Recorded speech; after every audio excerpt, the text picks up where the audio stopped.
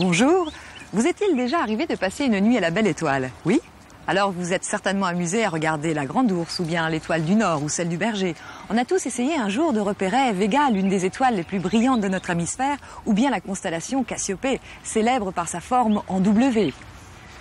Ces groupes d'étoiles qu'on appelle aussi des constellations sont observés et étudiés depuis la nuit des temps. Un homme y a consacré sa vie et s'est rendu célèbre grâce aux nombreux livres qu'il a écrits sur l'astronomie. C'est Camille Flammarion. En 1883, à Juvisy, dans sa maison, il s'est fait construire son propre observatoire. Et c'est donc ici que Cassiopée a voulu vous emmener ce mois-ci pour parler des étoiles.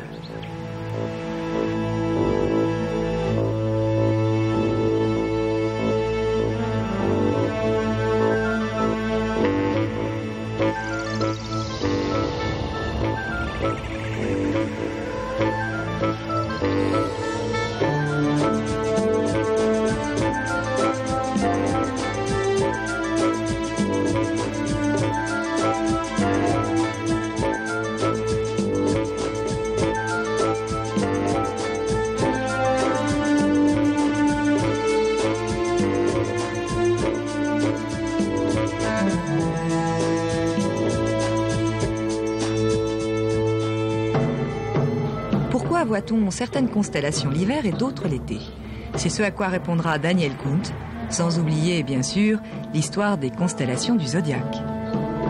Dominique Proust, lui, nous fera un descriptif précis des différentes étoiles qui peuplent notre galaxie. Et pour finir, Daniel Kunt reviendra nous expliquer la mystérieuse naissance des étoiles.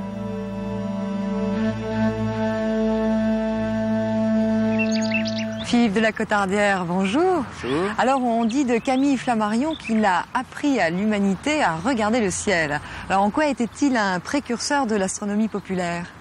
Eh bien à l'époque euh, où Camille Flammarion a commencé sa carrière, l'astronomie était tout imprégnée de mathématiques et c'était le triomphe de la mécanique céleste illustré par la découverte en 1846 grâce au calcul de Leverrier de la planète Neptune. Mmh, Grand événement astronomique qui avait eu un retentissement énorme, mais euh, ça n'est pas à cette astronomie-là que Flammarion était le plus sensible. Lui, qui était un enfant de la campagne, qui avait passé toute sa jeunesse en province, dans la Haute-Marne, avait en fait très jeune été en contact avec la nature, observait les phénomènes naturels et ce qui l'intéressait dans le ciel, c'était le côté spectacle, le côté poésie, le côté rêve et le côté imaginaire. Et c'est cela qu'il a voulu faire passer à travers ses livres. Alors, ce qu'on peut dire aussi de Camille Flammarion, et c'est peut-être là euh, sa grande originalité, c'est qu'il n'était pas professionnel. C'était un amateur, peut-être un amateur éclairé, mais c'est quand même un peu révolutionnaire dans, c'est vrai, à son époque, il y avait peu d'astronomes professionnels et lui-même était un autodidacte qui s'était formé lui-même, avait acquis les connaissances astronomiques de son époque grâce à ses lectures et puis qui observait euh, avec une petite lunette, mais euh, ça n'était pas un astronome professionnel. Et néanmoins, il a réussi à devenir l'égal des astronomes de son temps et à pouvoir discuter avec eux d'égal à égal grâce au succès de ses livres et de ses articles dans, euh, dans les journaux. Alors, euh, on est ici euh, dans sa maison à Juvisy et encore une autre originalité chez Camille Flammarion, c'est qu'il s'est fait construire son propre observatoire. Ça, c'était pas courant quand même. C'était pas courant et c'est une conséquence du succès de son astronomie populaire qui a été publié en 1879, qui a été un énorme succès de librairie et il a reçu beaucoup de lettres d'admirateurs, dont celle d'un certain monsieur Méret de Bordeaux, qui était un vieux célibataire, et qui lui a dit Monsieur Flammarion, je vous fais don d'une propriété que j'ai à Juvisy pour que vous puissiez y établir votre observatoire. Ça, c'est quand même un beau cadeau. Et Flammarion a un peu hésité, et finalement, euh, il s'est dit que c'était quand même une bonne chose d'avoir euh, sa propriété à 20 minutes de Paris.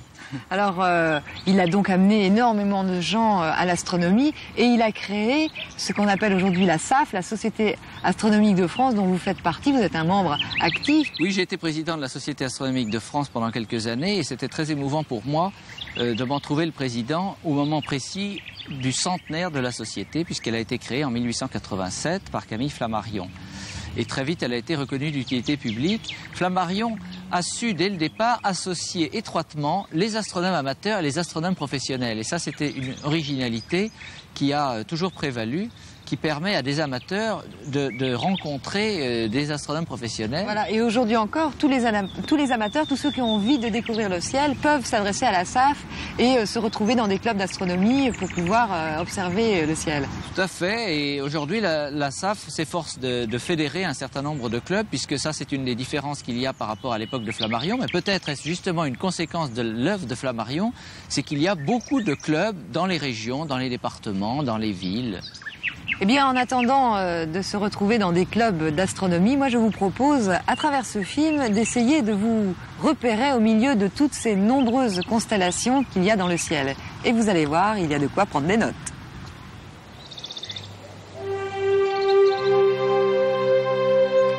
Voici une image de notre planète en rotation dans l'espace. Il ne s'agit ni de l'interprétation d'un artiste, ni d'une image de synthèse, mais d'une suite d'instantanés filmé à intervalles réguliers par une sonde spatiale. Cette rotation de la Terre, enregistrée pour la première fois depuis l'espace, est la cause de la traversée quotidienne du ciel par le Soleil. C'est un cycle de 24 heures qui est à l'origine du jour et de la nuit, de l'aurore et du crépuscule.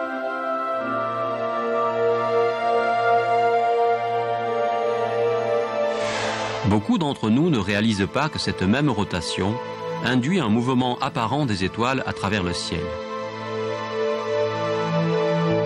La combinaison de la rotation de la Terre sur elle-même et de sa révolution de 365 jours autour du Soleil entraîne que notre perspective du cosmos varie à raison d'un degré d'angle chaque jour. Cette ligne visualise le mouvement saisonnier du Soleil par rapport aux étoiles situées plus loin. On l'appelle l'écliptique. Dans le passé, les astrologues ont vu des figures mythologiques dans les formes évoquées par des groupes d'étoiles que nous appelons aujourd'hui des constellations. Les constellations de l'écliptique forment le zodiaque. On trouve déjà ce schéma dans les temples de l'Égypte ancienne. Bien que l'astrologie et l'astronomie aient depuis longtemps divergé, les noms mythologiques des constellations ont été maintenus. Afin de se frayer un chemin à travers le ciel, les astronomes modernes divisent le ciel selon une grille de coordonnées. Les lignes de longitude, appelées ascension droite, sont calibrées en heures, minutes et secondes. Les lignes de latitude, appelées déclinaison, sont comptées en degrés à partir de l'équateur céleste. Une distance élémentaire est l'empan, compris entre l'index et l'auriculaire écarté. L'empan correspond à environ 15 degrés dans le ciel, ce qui équivaut à 30 fois la largeur apparente de la Lune. La Lune correspond en effet à un demi-degré d'angle.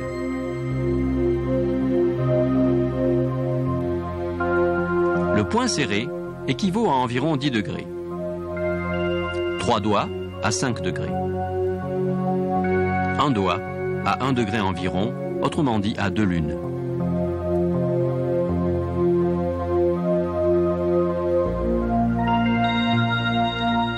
Cette photographie, volontairement floue, révèle les véritables couleurs des étoiles. Mais nous les voyons ainsi car notre vision est peu sensible aux subtilités de la lumière des étoiles. Les étoiles devraient ressembler à cela, telles qu'elles apparaissent sur les photographies astronomiques ou vues à travers une paire de jumelles. De bonnes jumelles constituent en effet l'instrument de base pour un observateur débutant. Des nombres sont inscrits sur chaque paire de jumelles spécifiant le grossissement et la taille de l'objectif, ici 10 sur 50. 10 indique que ces jumelles agrandissent 10 fois l'image, 50 la taille de l'objectif, 50 mm. Ici, les lentilles portent l'indication 5 mm. Il s'agit du diamètre de l'oculaire. La taille dont on a besoin dépend de l'âge de l'utilisateur. Si vous avez moins de 40 ans, les pupilles de vos yeux vont se dilater jusqu'à 7 mm. Si vous avez plus de 40 ans, vos pupilles ne se dilateront que jusqu'à 5 mm. Ainsi, si vous êtes jeune, vous verrez les meilleures images à travers un oculaire de 7 mm. Procurez-vous donc des jumelles portant la mention 7 par 50. Si vous êtes moins jeune, 10 par 70.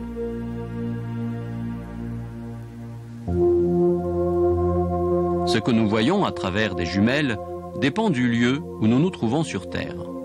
L'axe de la Terre est tel que le pôle Nord pointe en direction de l'étoile polaire. L'étoile polaire est donc la seule étoile fixe dans le ciel.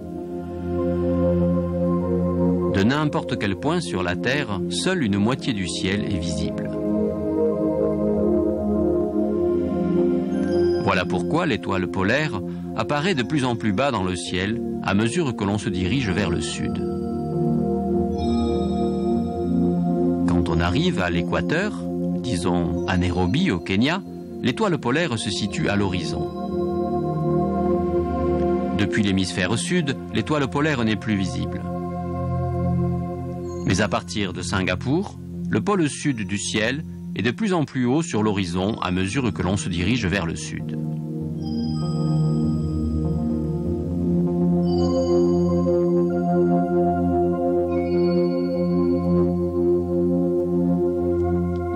Avec le télescope anglo-australien en silhouette de fond, nous voyons les étoiles de la région polaire australe alors que la Terre est en rotation.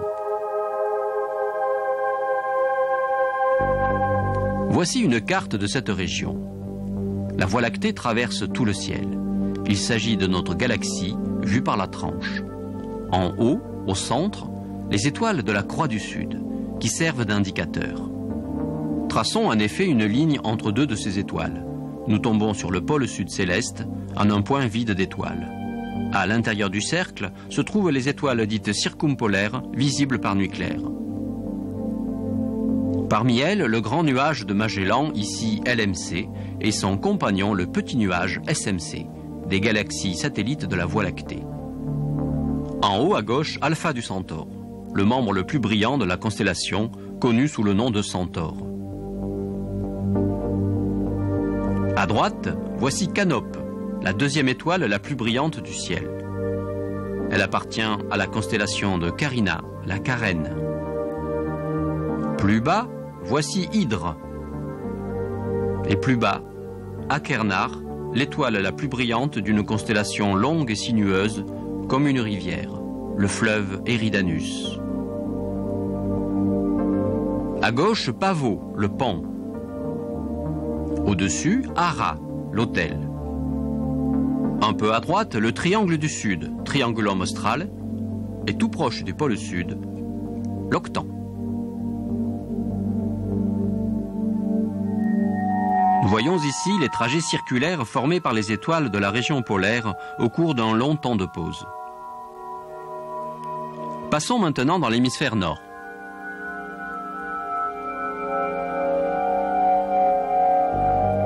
La Voie lactée s'étire le long du ciel boréal. L'étoile polaire est au centre, elle brille clairement dans la constellation de la Petite Ourse.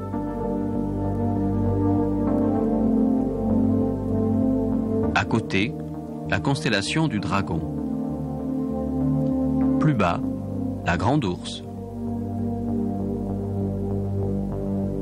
En haut, au centre, la reine Cassiopée. À gauche, le célèbre héros grec Hercule. À côté de la reine, son mari Céphée. En haut, à droite, la constellation de Persée. Voici quelques étoiles brillantes. Vega, dans la constellation de la Lyre.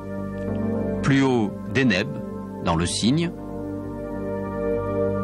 À droite, Capella, dans la constellation du Cocher. Voici maintenant les trajets de ces étoiles lors d'une longue pause nocturne. Le meilleur guide pour se repérer dans le ciel du Nord est la constellation de la Grande Ourse. À partir de ces deux étoiles, on trouve en effet la position de l'étoile polaire. L'étoile polaire située dans la Petite Ourse.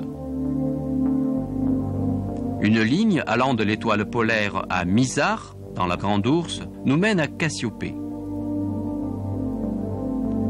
Ces deux étoiles de la Grande Ourse indiquent la direction de l'étoile Capella, un point brillant dans la constellation du Cocher.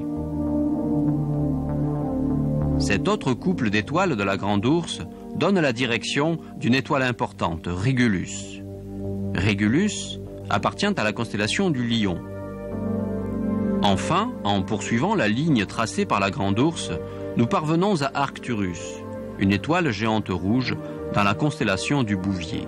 Et voici un peu plus loin la brillante Spica, l'épi de la Vierge. Muni de ces repères, l'apprenti astronome peut désormais naviguer dans la sphère céleste et en comprendre les mécanismes.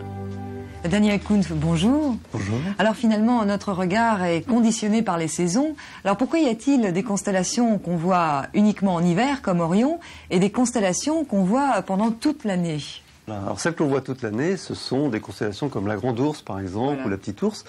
Bien celles-là, on- celles-ci ont le bon goût de se trouver dans, dans le prolongement, presque dans le prolongement de, de l'axe terrestre nord-sud.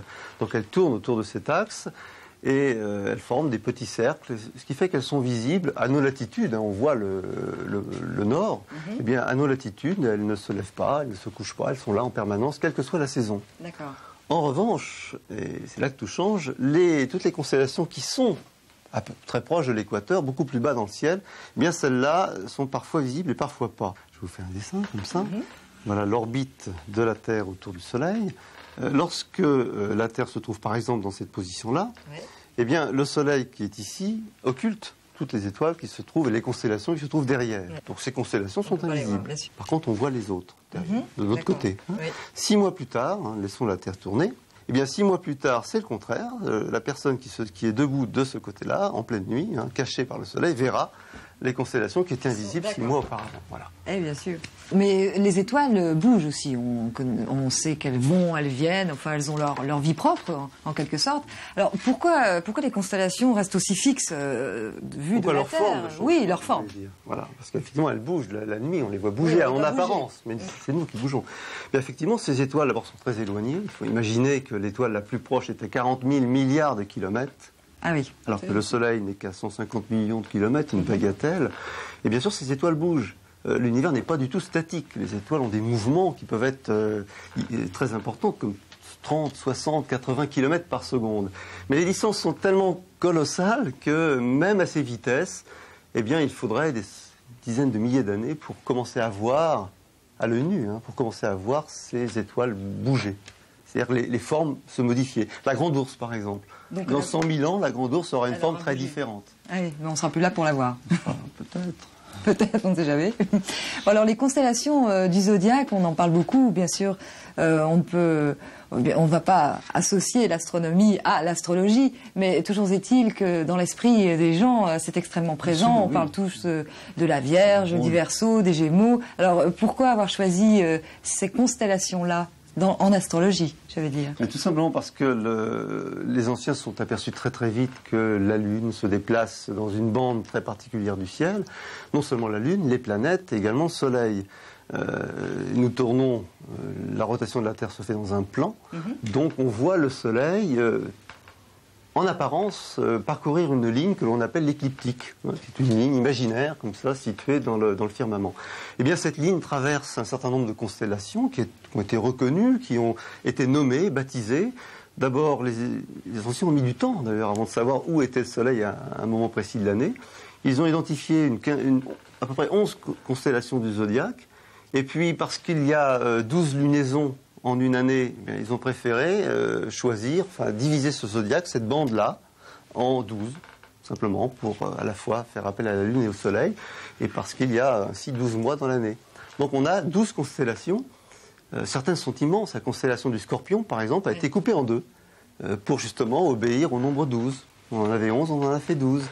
Et vous-même, quel est votre Et moi-même, moi-même, je suis du, je crois que je suis du cancer ascendant verso, qui semble-t-il est très important pour les astrologues. Et quelle est la position de l'astrophysicien Vous y croyez vous? Béate, Béate, bien sûr. Bien, la position des, des astronomes, c'est que l'astrologie euh, n'est pas du tout, ce n'est pas une science, même si ça utilise des outils euh, scientifiques. Il suffit pas d'utiliser des outils scientifiques pour s'ériger en science. Non, euh, pour nous, c'est une croyance, et euh, ça s'érige en croyance, et comme toute croyance, on y adhère ou on n'y adhère pas. Il faut savoir à quoi on adhère. Eh bien, euh, nous allons revenir à nos cieux nocturnes et poursuivre l'émission à travers un film qui va nous expliquer euh, ce que nous allons voir cet hiver, puisque vous l'avez compris, on ne voit pas la même chose l'été que l'hiver. Eh bien donc, ce film va nous montrer ce qu'on va voir cet hiver, mais plus encore, car vous allez voir que derrière chaque constellation se cache une multitude d'étoiles aux formes extrêmement bizarres.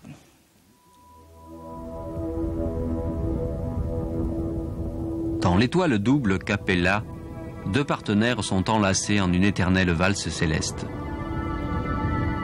Leur éclat combiné est un véritable joyau dans le ciel hivernal de l'hémisphère nord.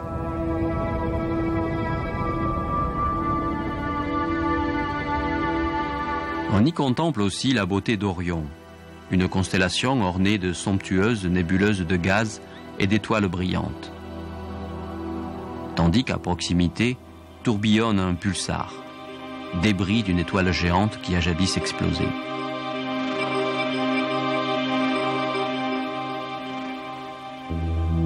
L'orbite de la Terre autour du Soleil se trouve ici aux extrêmes saisonniers appelés solstices et équinoxes.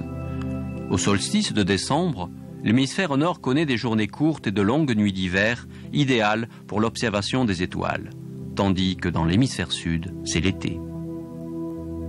Voici les constellations d'hiver avec la trace de la Voie lactée. Nous sommes dans l'hémisphère nord, regardant en direction du nord. Sous la constellation de ces faits, l'étoile d'Eneb, du cygne, pointe au-dessus de l'horizon. En haut à gauche, près de Persée, la flèche indique la position de l'amas double de Persée. En voici une image vue à travers une paire de jumelles. Il s'agit de deux groupes d'étoiles, chaque amas en contient environ 300, aussi brillants que des diamants. En bas à droite, au-dessous de la Grande Ourse, la galaxie Messier 51, accompagnée d'une galaxie satellite. On l'observe mieux à travers un petit télescope. Messier 51 est connue sous le nom de la nébuleuse des chiens de chasse. Elle a été scrutée par le télescope spatial Hubble. Son centre recèle une étrange formation en croix, peut-être la preuve de la présence d'un trou noir. Un peu plus haut, dans la Grande Ourse, une paire de galaxies traînait à travers les jumelles. Messier 81 en bas et Messier 82, chacune à plus de 8 millions d'années-lumière de la Terre. Voici une vue en direction du nord, l'hiver, et voici la vue que l'on a en regardant vers le sud. Une constellation domine le ciel. C'est la très belle figure du chasseur, Orion. Mais sa forme n'est qu'un effet de perspective. Si nous pouvions décrire un grand cercle en volant dans l'espace, les étoiles d'Orion nous paraîtraient bien différemment dans leur position relative. Comme pour toutes les constellations, c'est uniquement depuis notre perspective terrestre que les étoiles forment ces figures familières.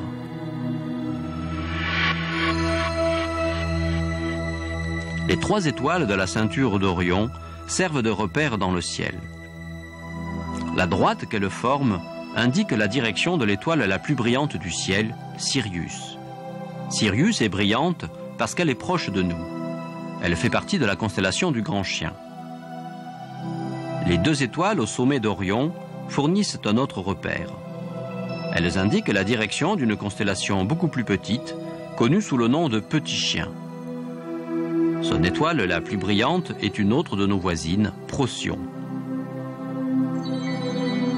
Une ligne tracée à partir de deux autres étoiles d'Orion nous conduit à une étoile multiple, le système de Castor.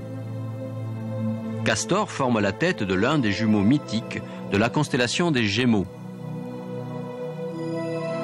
Retour à la ceinture d'Orion. Mais au lieu d'avancer en direction de Sirius, nous allons dans la direction opposée, vers une éclatante étoile orange. C'est notre proche voisine, Aldébaran, d'un diamètre 40 fois plus grand que celui du Soleil. Aldébaran est le grand œil du taureau. Dans l'épaule du taureau, un groupe d'étoiles connu sous le nom de Pléiade se dessine très nettement à travers des jumelles. Orion nous a servi de guide du ciel d'hiver pour l'hémisphère nord. Voici une perspective plus large en regardant vers le sud. Orion domine toujours l'image. En voici les constellations principales, avec la Voie lactée s'étirant de haut en bas, du cocher au grand chien.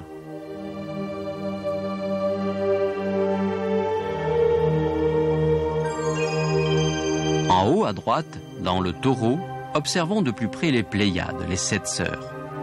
Il y a en fait beaucoup plus de sept étoiles. Il y a quelques 250 étoiles bleues et jeunes et chaudes, entourées de la poussière et du gaz dont elles sont nées.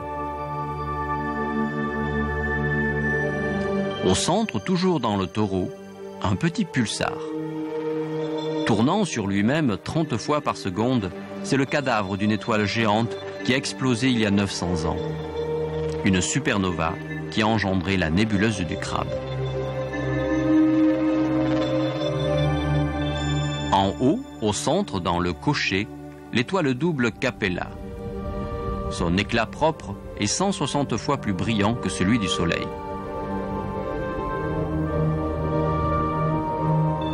En haut à gauche, dans les Gémeaux, l'étoile multiple Castor, constituée d'un couple de deux petites étoiles rouges, en orbite autour de deux autres couples d'étoiles bleues, six étoiles en une seule.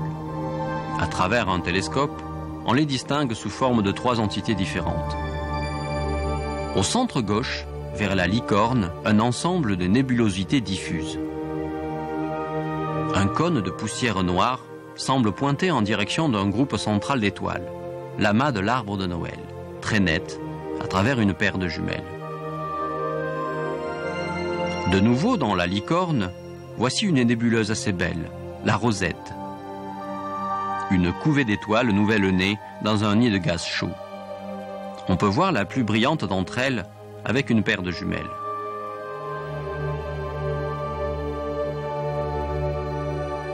Si nous pouvions voler en direction d'Orion, à 500 années-lumière de la Terre, nous rencontrerions Bételgeuse, une étoile géante rouge qui pourrait avaler le système solaire intérieur jusqu'à l'orbite de Mars.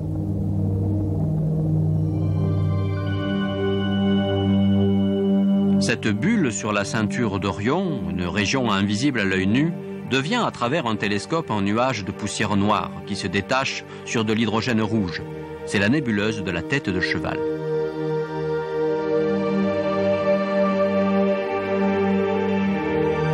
De la ceinture d'Orion pend une épée. Au bout se trouve l'un des plus fabuleux objets du ciel, Messier 42, la grande nébuleuse d'Orion, une région où naissent les étoiles, visibles avec des jumelles. À nouveau, si nous volions en direction d'Orion, à 900 années-lumière de la Terre, nous rencontrerions Rigel.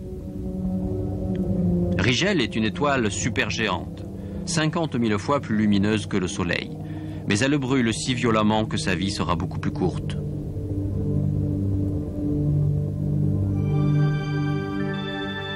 En bas à gauche, Sirius. C'est l'étoile la plus brillante du ciel. Elle a un minuscule compagnon. Ce compagnon est une naine blanche, à peine plus grosse que la Terre. Voici une image réelle, à travers un grand télescope. Voici la même partie du ciel vue depuis l'hémisphère sud. En traçant une ligne entre deux étoiles d'Orion et en la prolongeant vers le haut, on trouve la deuxième étoile la plus brillante du ciel, Canope. Deux autres étoiles dans Orion indiquent la direction de l'embouchure d'un fleuve. C'est l'étoile Achernar. Elle est située à une extrémité de la longue et sinueuse constellation de l'Éridan.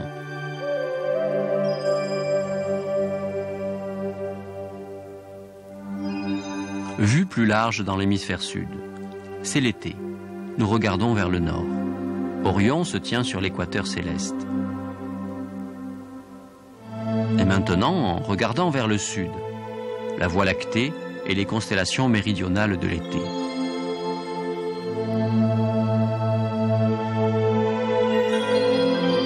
En haut, caché dans la constellation de la Poupe, une vision spectaculaire. Ressemblant à une méduse, un vaste globule de gaz s'éloigne. Il est activé par l'énergie qui jaillit de jeunes étoiles brûlantes. C'est la dernière vision de l'été.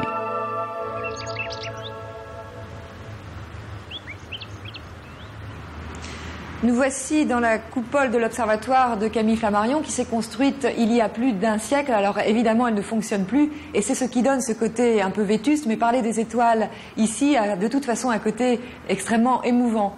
Dominique Proust, bonjour. Alors quand on se rapproche justement de ces constellations à l'aide des télescopes, on reste vraiment extrêmement surpris par leur nombre surtout et leur variété. Alors combien y a-t-il d'étoiles et est-ce qu'on a pu les cataloguer? À l'œil nu, on en dénombre euh, plusieurs milliers et les étoiles sont un petit peu comme, euh, les humains, euh, comme la population. On trouve tous les archétypes, toutes les, tailles, les, des grandes étoiles, des petites étoiles, des étoiles jeunes, des étoiles vieilles. Elles sont un petit peu à l'image des hommes. Alors, on parle aussi des étoiles variables et surtout dans, le film, on parlait de de Castor, du système Castor, et là on dit qu'il y a six étoiles en une. Comment c'est possible? Oui, alors les étoiles en plus euh, ne sont pas isolées, elles ont toujours un petit peu comme les vacanciers tendance à se, regrouper sur les mêmes euh, secteurs, sur les mêmes lieux. Et les étoiles doubles, triples, multiples sont extrêmement nombreuses euh, dans le ciel. Même les étoiles uniques sont plutôt des, sont presque des exceptions. Donc elles sont toutes en groupe Elles sont souvent en groupe, on les observe même en, vraiment en grande famille, on les observe aussi en amas, on les observe en association. Euh, et en plus, comme elles font partie de notre galaxie, elles sont toutes entraînées dans un même mouvement de, rotation euh, de cette gigantesque galette d'étoiles que forme notre galaxie, qui contient en fait euh, pas loin de 200 milliards d'astres. D'accord, donc il y a quand même du travail. Et alors, donc ces étoiles brillent, nous on les voit briller plus ou moins fort depuis la Terre. Oui. Et vous, vous appelez ça techniquement une magnitude et vous classez ça en ordre de grandeur. Oui, euh, on appelle ça une magnitude. Bon, euh, cette magnitude mesure l'éclat de l'étoile. Disons euh, qu'entre l'étoile la plus brillante et la plus faible que l'on voit à l'œil nu, la plus brillante sera de magnitude 0, la plus faible de magnitude 5. Mhm. Et on passe d'une magnitude à la magnitude suivante dans un rapport 2,5. Une étoile est 2,5 fois plus brillante que l'étoile de magnitude suivante. Et combien y a-t-il de grandeurs Alors, deux, une, deux, trois grandeurs Alors, à l'œil nu, on voit de la magnitude 0 jusqu'à la magnitude 5. Donc 5, c'est la cinquième grandeur. La cinquième grandeur, et ensuite, avec les télescopes, on va de plus en plus loin euh, vers des objets de plus en plus faibles, et on atteint des magnitudes de 25 ou de 26, euh, communément avec les grands télescopes. Mais est-ce qu'il n'y a pas un phénomène de distance? Est-ce qu'une étoile plus proche de nous ne pourrait pas être plus brillante euh, qu'une autre plus éloignée? Non, ça ne joue pas ça. Non, justement, c'est que l'étoile la plus proche, euh, autre que le Soleil, hein, l'étoile la plus proche qui se trouve dans l'hémisphère austral, qui s'appelle Proxima Centauri, se trouve à, à 4 années-lumière, à peu près un petit peu moins de nous, et cette étoile est absolument invisible à l'œil nu. Par contre, euh, Vega, qui est une, très belle étoile qui illumine nos nuits d'été en étant en plein zénith, elle se trouve déjà à plus de 40 années-lumière de nous. Et par exemple, le Soleil, euh, qui est trop proche de nous, il est à combien de kilomètres de la Terre? C'est pour avoir un. Alors, le Soleil est à 148 euh, millions de kilomètres de la Terre, c'est-à-dire que si euh, si on, actionnait l'interrupteur destiné à éteindre toutes les étoiles euh, de, l'univers d'un seul coup, on verrait simplement le Soleil s'éteindre dans 8 minutes. Oui, d'accord, c'est extrêmement court. Et ensuite, il faudra attendre plusieurs années ou plusieurs dizaines d'années pour voir s'éteindre successivement toutes les étoiles de notre environnement. Alors les étoiles ont des couleurs, puisque on parle toujours d'Aldébaran, l'œil rouge du taureau, et puis Sirius, la bleue. Euh, combien y a-t-il de couleurs et qu'est-ce que ça signifie? Eh bien, toutes les, couleurs du, domaine visible, euh, c'est-à-dire du bleu au rouge de, des peintres, correspondent à des températures. Et ces températures sont les caractéristiques des étoiles. Ces étoiles rouges, que ce soit Aldébaran ou Antares ou Arcturus par exemple, sont des étoiles extrêmement froides. Leur température de surface, parce que le centre de l'étoile euh, lui, est, extrêmement chaud, plusieurs euh, millions de degrés, afin que les réactions nucléaires qui les font briller euh, puissent être activées. Donc la température de surface est d'à peu près 3000 degrés pour une étoile rouge. Par contre, elle peut monter à plusieurs, à 25 ou 30 000 degrés pour les étoiles bleues, qui sont donc des étoiles chaudes. Alors le Soleil, lui, est une étoile jaune. Oui, alors notre Soleil, moi je me suis souvent posé la question, est-ce qu'il est jaune? Parce qu'on est proche de lui et que c'est un effet d'optique Est-ce que sur Sirius, par exemple, on le verrait jaune quand même? Eh bien, vu de Sirius, le Soleil serait visible que vraiment comme une étoile très faible, mais il serait à dominante jaune de toute manière parce que c'est sa euh, couleur réelle, parce que sa température de surface est un petit peu moins de 6000 degrés. Et ce, ce 6000 degrés correspond donc à la couleur jaune. Et euh, comme nous vivons dans le voisinage du Soleil, notre rétine d'ailleurs a le maximum de sensibilité euh, de la courbe de réponse de l'œil dans cette couleur jaune. Bien, merci Dominique Pousse. Avant de nous quitter, je voulais savoir quelle était votre étoile préférée? Mon étoile préférée? Oui, j'aime bien Vega parce que c'est d'abord, elle annonce euh, toujours l'été. Euh, le Farniente et le repos et elle brille en plein zénith. C'est vraiment une très très belle étoile. Mais j'aime beaucoup aussi Canopus euh, parce que c'est un signe de voyage et on peut l'observer dans l'hémisphère austral. Ah, c'est joli.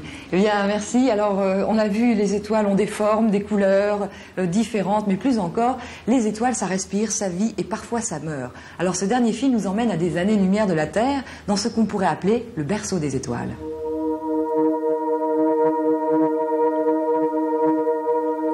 De même que les galaxies sont les briques constitutives de l'univers, les étoiles peuvent être considérées comme les molécules de ces briques. Mais que sont les étoiles et comment se forment-elles?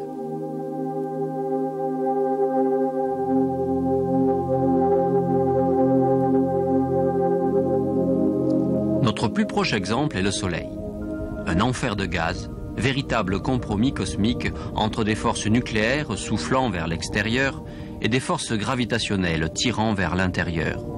Un équilibre qui, ultimement, vacillera.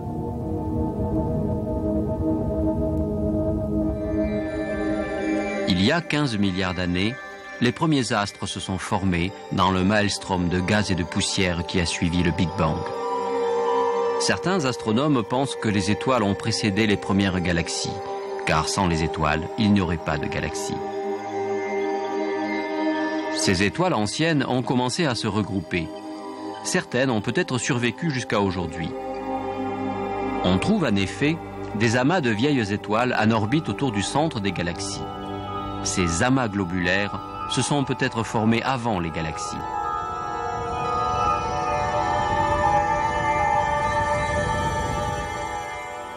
Les galaxies sont nées un milliard d'années environ après le Big Bang. Celle-ci ne possède qu'un million d'étoiles. Et celle-ci un million de millions. C'est une galaxie géante qui a grossi démesurément en avalant d'autres galaxies. Le processus peut être observé aujourd'hui. Ici, deux galaxies dans un acte de fusion céleste.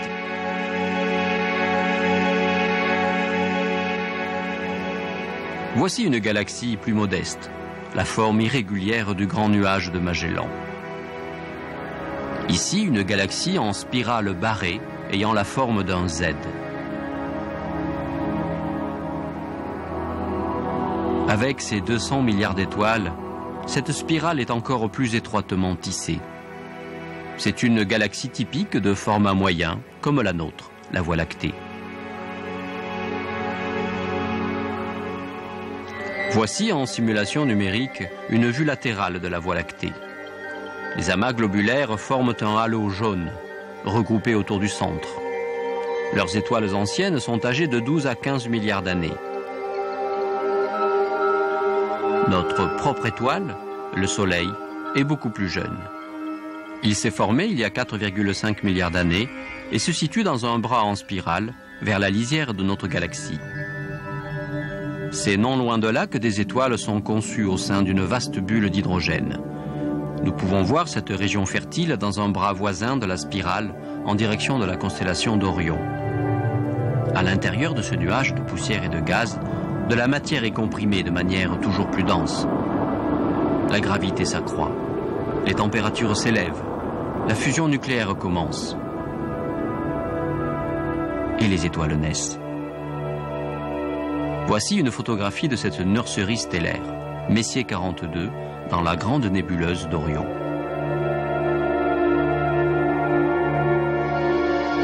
Au début des années 1990, la région a été minutieusement observée par le télescope spatial Hubble. Pour la première fois, nous avons pu observer de nouvelles étoiles brûlantes entourées de grands disques de matière. Dans le cas du Soleil, c'est un disque semblable qui s'est mué en planète il y a 4,5 milliards d'années.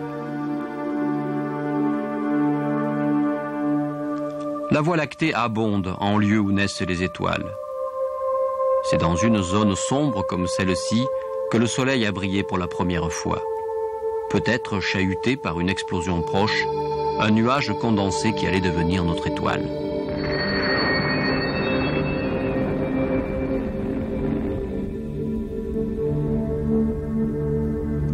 Installé dans le confort de son âge médian, le Soleil a un éclat jaune, avec à sa surface une température de 6000 degrés.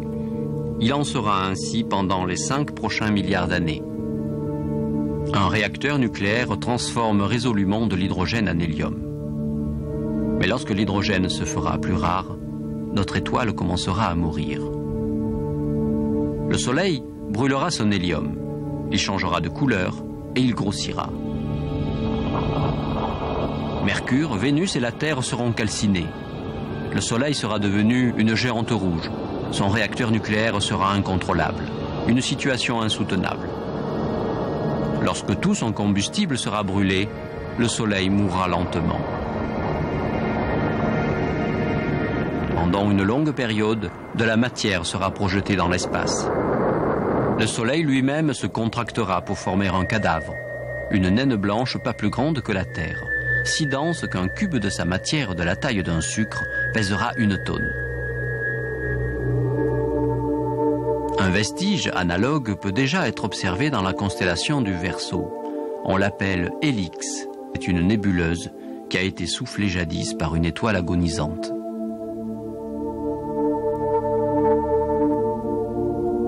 Mais voici les vestiges d'une mort plus spectaculaire la nébuleuse d'une étoile géante soufflée par une explosion cataclysmique. Les astronomes l'appellent une supernova.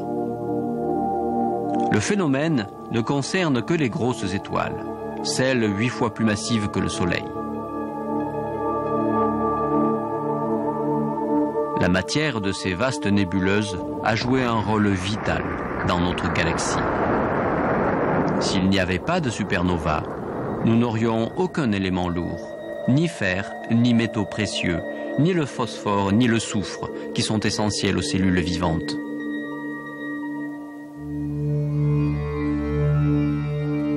Dans notre galaxie, bien des étoiles géantes sont destinées à devenir des supernovas. L'une d'elles est Rigel, dans Orion, 50 000 fois plus brillante que le Soleil. Dans la même constellation, la grande étoile Bételgeuse, elle mourra certainement au cours des 10 000 années à venir. Les étoiles géantes se forment à partir de nuages eux-mêmes géants. Le processus est comparable à celui de la naissance du Soleil, mais en plus ample. Une nébuleuse massive de gaz et de poussière se condense. Tandis qu'elle se contracte sur elle-même, la gravité augmente, la température s'élève, un four nucléaire se met en marche. En raison de sa grandeur, peut-être 100 fois la masse du Soleil, la super-étoile brûle violemment et avec éclat. L'énorme gravité du centre crée une chaleur prodigieuse. En conséquence, l'étoile brûle des combustibles à une allure vertigineuse. Mais sa vie sera très courte, peut-être tout juste 10 millions d'années. Au milieu de son existence, la super-étoile se dilate. Elle se refroidit et devient plus rouge. Au centre, l'hélium se transforme en élément plus lourd. Quand le fer est formé, l'énergie n'est plus créée mais absorbée. La géante rouge se meurt. L'explosion qui en résulte est une supernova. Tandis que la matière s'éparpille dans l'espace, au centre demeure un vestige d'à peine 30 km de diamètre. C'est une étoile à neutrons, tournant sur elle-même aussi vite qu'une toupie une tête d'épingle de sa matière pèserait un million de tonnes. Il existe une étoile à neutrons dans la nébuleuse du crabe.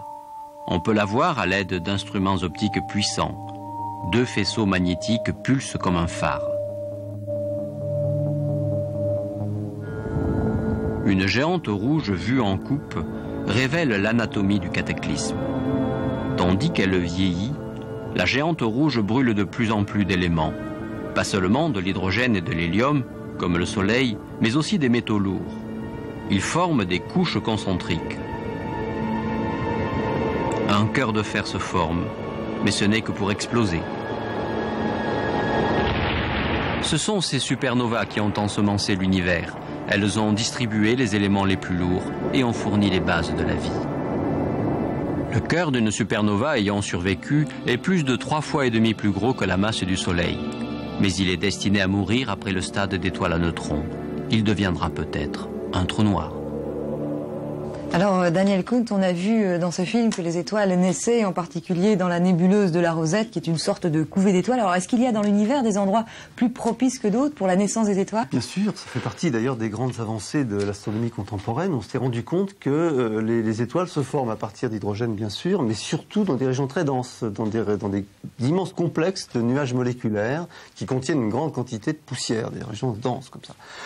Et donc ça, c'est déjà un progrès, une connaissance qu'on que l'on a acquise. Maintenant, il reste encore à savoir les détails du processus, c'est-à-dire si euh, les étoiles massives se forment d'abord, ou les petites étoiles comme le Soleil ensuite, ou en même temps. C'est le genre de problème qu'on a encore à résoudre. Alors il y a donc le satellite ISO qui est parti justement euh, traquer euh, ces naissances d'étoiles. Est-ce que vous avez eu des résultats récemment? On a eu des résultats, c'est vrai. ISO a été envoyé parce que c'est un satellite qui fonctionne dans l'infrarouge. Mhm. Et l'infrarouge, c'est un, un, rayonnement qui traverse la poussière. Donc ça permet de regarder à l'intérieur de ces étoiles, d'ausculter ces étoiles, une forme d'échographie si vous voulez, euh, alors qu'on n'est pas capable de le faire dans le visible. Et là, on espère traquer, euh, regarder les étoiles en train de se former dans, dans, dans ces gigantesques complexes.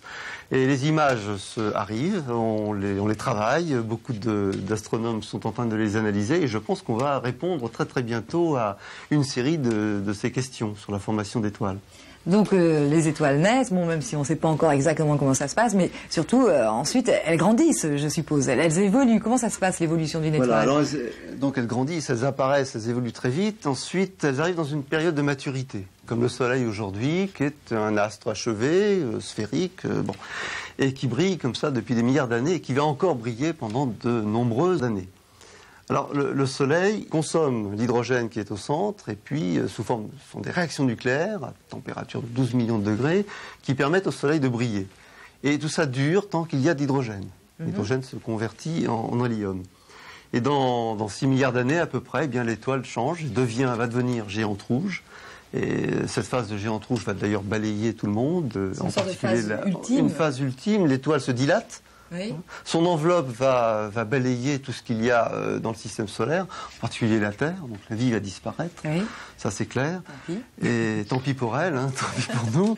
Mais euh, ça donne un sursis au Soleil, et euh, à l'intérieur, le, le, centre, lui, va s'être condensé davantage, et donc il va avoir suffisamment de matériel, de, de matériaux, pour amorcer de nouvelles réactions nucléaires et pour briller encore un certain temps, très peu de temps et ensuite il va s'arrêter. Euh, la matière va s'être condensée suffisamment pour donner naissance à ce que l'on appelle une étoile à neutrons dont la dimension est extrêmement petite, pas plus grande que la Terre. Vous voyez, c'est un astre, Oui. euh, alors que le Soleil aujourd'hui énorme. est bien plus grand que la Terre. Et ensuite, cette étoile, cette étoile qui est faiblement lumineuse, va s'arrêter toute seule. Oui, mais donc toutes les étoiles ne, ne Non, ont pas la même évolution que le Soleil. pas Ça, du le tout. Soleil est une étoile un peu classique, Voilà, finalement. très classique. euh, mais vous avez des étoiles qui ont des masses euh, 10 fois ou 100 fois plus grandes que le Soleil. Elles vivent très peu de temps, 100, 30 millions d'années à peu près. Et la fin, la, fin de ces étoiles est tout à fait euh, cataclysmique. C'est vraiment euh, un vrai feu d'artifice auquel on assiste. Les enveloppes extérieures de ces étoiles, se, en l'absence de moteur, il n'y a plus de combustible à l'intérieur, donc l'étoile s'effondre sur elle-même, elle rebondit et elle disperse euh, toute la matière dans le, le milieu interstellaire. C'est une forme d'énorme explosion. Est-ce que c'est ça explosion. Ce sont les supernovas. Ce sont les supernovas et elles sont très lumineuses. C'est-à-dire que la, la luminosité atteint euh, quelques milliards de fois la luminosité, la luminosité du Soleil. Donc vraiment, c'est un Et ça, c'est ce qu'on peut voir donc à l'œil nu. spectaculaire qui se voit à l'œil nu dans certains cas, lorsque l'étoile n'est pas trop éloignée. Ça a été le cas en 1987 au Chili, hein, la supernova De- du nuage de Magellan. C'était euh, Kepler a observé ce phénomène. euh, les Chinois l'ont observé dans le crabe en 1054. Donc ce sont des phénomènes rares. Parce qu'il y a très peu de grosses étoiles, il y a beaucoup plus d'étoiles petites. Et, ces supernova, est-ce que c'est ça qui, donne ce qu'on appelle nous communément les, poussières d'étoiles? Voilà, c'est ça. Sont, les débris sont évaporés, sont disséminés, se refroidissent. Et euh, de quoi sont faits les débris? Ben, les, les, débris sont faits de tout ce qui s'est formé à l'intérieur, au cœur de l'étoile. Or, ce qui s'est fabriqué là, ça s'est fabriqué par fusion nucléaire. À partir d'hydrogène, on a fabriqué le carbone.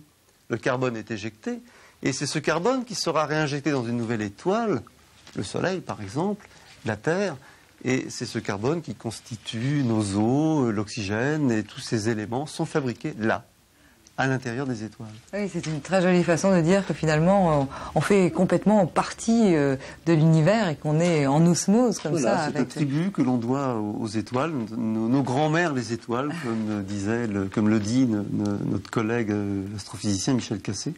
Et c'est vrai, c'est une très belle histoire. Daniel Kuntz, merci d'avoir participé à cette émission et de nous avoir donné autant d'éléments de compréhension pour les étoiles. merci.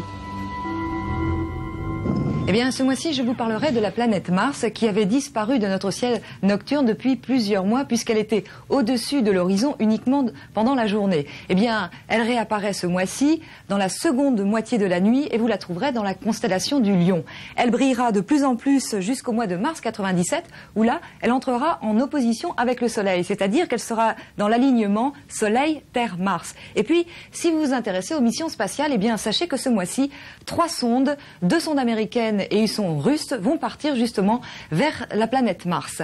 Les astronomes ont calculé que si l'on envoyait ces sondes trois mois avant l'opposition de la planète Mars avec le Soleil, eh bien ces sondes arrivent beaucoup plus vite sur la planète, c'est-à-dire qu'elles arriveront à peu près dans neuf mois et surtout avec une économie d'énergie très importante. C'est ce qu'on appelle une fenêtre de lancement idéale. Et dans le cas de la planète Mars, cette fenêtre de lancement ne se représente que tous les deux ans, deux ans et demi, puisque c'est la période de rotation de la planète autour du Soleil. Et puis euh, la Lune, eh bien la Lune, elle sera pleine ce mois-ci, le 25 novembre. Alors avant de se quitter, je vous présente les livres. Tout d'abord, Daniel Kunt, que vous avez vu tout à l'heure, a écrit un livre en collaboration avec Jacques Lanzmann et Michel Boujna. Michel Boujna, le comédien, vous avez bien entendu.